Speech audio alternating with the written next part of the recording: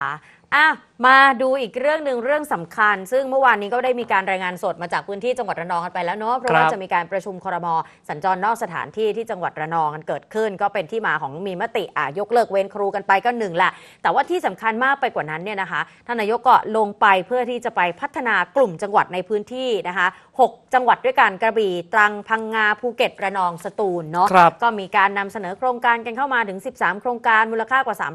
350 ล้านบาทเนาะก็พูดคุยกันไปนะคะ แต่ทีนี้เนี่ยอีกหนึ่งเรื่องที่สำคัญนอกเหนือจากการไปติดตามความคืบหน้าของกลุ่มจังหวัดต่างๆ ว่าทำอะไรยังไงบ้างเนี่ย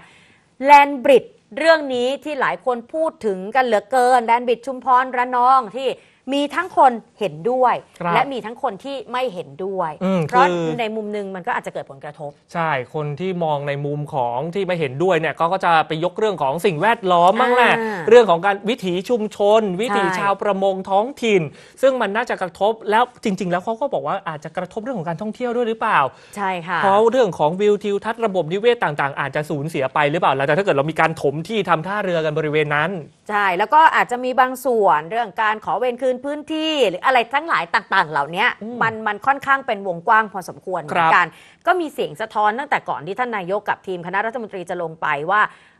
ชะชะลอไปก่อนได้ไหมไม่อยากให้ไอ้นี่เสียงคัดค้านมันเยอะอะไรอย่างครับเงี้ยนะคะ ปรากฏว่าการลงไปครั้งนี้นะคะท่านนายกก็เลยเปิดโอกาสให้ชาวบ้าน ทั้งชุมพรแล้วก็ระนองเนาะเพราะมันเป็นโครงการของสองจังหวัดเชื่อมต่อกันเนี่ยกว่า 200 คนเข้ามายื่นหนังสืออย่างที่เห็นเนี่ยค่ะนะคะ แล้วก็แสดงจุดยืนต่อโครงการแลนบริดที่ส่งผลกระทบกับคนในพื้นที่นะคะ โดยท่านนายกก็รับปากว่าเดี๋ยวจะ นำเสนอนะข้อเสนอของชาวบ้านต่างๆ เหล่านี้เดี๋ยวไปพิจารณาครับ ประกอบการจัดทำเอกสารเพื่อที่จะให้ทุกฝ่ายเข้าใจในจุดประสงค์ แล้วก็จะได้ความกระจ่างว่าสรุปแล้วการทำโครงการนี้มันจะเป็นยังไงต่อไปนะคะ เพราะว่าหลังจากประชุมคณะรัฐมนตรีเสร็จสิ้นนะคะ ท่านนายกรัฐมนตรี ท่านเศรษฐาทวีสินเนี่ยก็ออกมารับหนังสือของชาวบ้านนี่นะคะบรรยากาศตอนเดินออกมานะแล้วก็ พูดคุยรับฟังข้อเสนอของชาวบ้านด้วยตัวเอง คือนายกเองก็ย้ำถึงกรณีที่หลายคนมีข้อสงสัยเรื่องการศึกษาโครงการแลนบริดว่ามีกะมีความครอบคลุมมีอิสระหรือไม่ดูแลครบทุกมิติหรือเปล่า นี้ท่านนายกบอกว่าการดำเนินโครงการดังกล่าวเนี่ยมันไม่ใช่แค่โครงการแลนบิดเท่านั้นเนาะแต่มันหมายถึงอุตสาหกรรมที่จะต่อเนื่องในอนาคตคือแลนบิดเนี่ยมันจะทำให้พื้นที่ตรงนั้นมันสะดวกสบายในการสัญจรครับต่างๆนะคะอ่าการเชื่อมโยงกันเรื่องการขนย้ายขนถ่ายสินค้าอะไรต่าง ๆ มันจะสะดวกมากขึ้นแต่อุตสาหกรรมที่มันจะเกิดขึ้นในอนาคตอะอันเนี้ยมันเป็นสิ่งสำคัญที่เราจะได้รับจากแลนบิดด้วยเช่นเดียวกัน ตลอดจนไปจนถึงการศึกษาผลกระทบต่อสิ่งแวดล้อม แล้วก็การมีส่วนร่วมของภาคประชาคมนะคะ รัฐบาลก็ยืนยันที่จะรับฟังทุกความคิดเห็นอยู่แล้ว แล้วก็จะนำไปพิจารณา